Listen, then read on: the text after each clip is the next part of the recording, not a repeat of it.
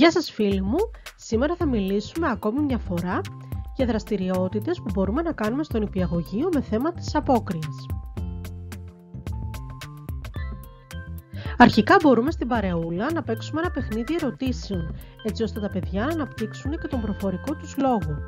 Θα μπορεί κάθε παιδάκι με τη σειρά να σηκώνεται και τα υπόλοιπα παιδιά να του κάνουν ερωτήσεις, έτσι ώστε να μπορέσουν να μαντέψουν τι θα ντυθεί φέτος στις απόκριες το κάθε παιδί.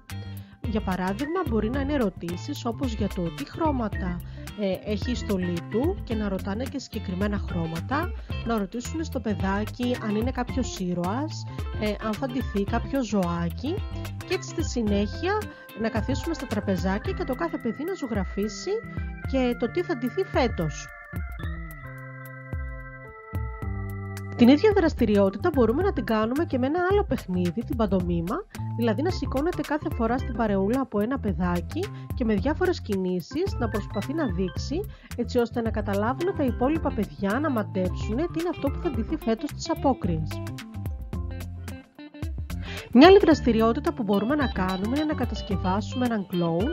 Υπάρχει και σχετικό βίντεο με αποκριάτικη κατασκευή κλόουν στο κανάλι μας. Αν θέλετε μπορείτε να μπείτε να το δείτε.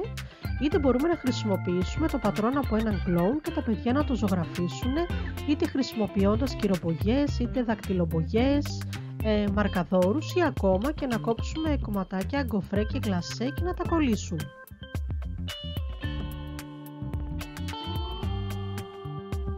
Μια άλλη δραστηριότητα που μπορούμε να κάνουμε είναι η κατασκευή μιας κάρτας χρησιμοποιώντας χαρτόνι Α4, διπλώνοντάς το στη μέση, χαρτόνι είτε μονόχρωμα είτε χρωματιστά είτε και με σχέδια, να χρησιμοποιήσουμε πατρόν από οτιδήποτε επιθυμεί το κάθε παιδί, είτε κλόν, κολοκύθα, αρλεκίνο ή οτιδήποτε άλλο.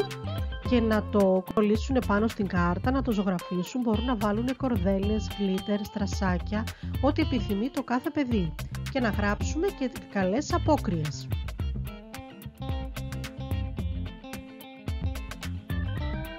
Μια άλλη δραστηριότητα που μπορούμε να κάνουμε είναι ένα παιχνίδι με μουσική.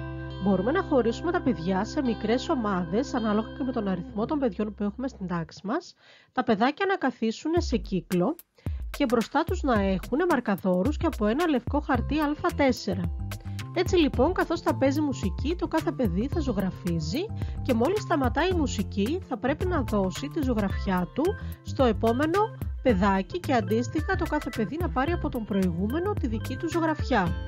Και μόλις ξεκινήσει η μουσική θα συνεχίσουν και θα ζωγραφίζουν στη ζωγραφιά στην οποία έχουν λάβει. Και έτσι λοιπόν μόλις σταματήσει η μουσική θα ξαναγίνει το ίδιο μέχρι να ολοκληρωθεί ο κύκλος. Και έτσι λοιπόν, μόλις ολοκληρωθεί ο κύκλος με τα παιδάκια που θα έχουν ζωγραφίσει, θα μας περιγράψουν την ε, ζωγραφιά που κάνανε σαν ομάδα.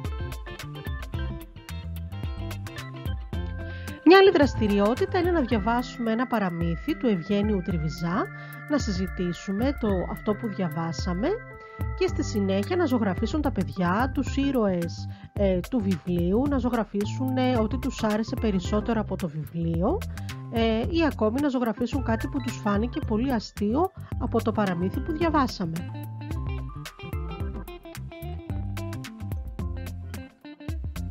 Εάν σας άρεσε το βίντεο μπορείτε να κάνετε like και εγγραφή στο κανάλι μας καθώς θα ακολουθήσει και ακόμα ένα βίντεο με δραστηριότητες με θέμα της απόκριας. Γεια σας!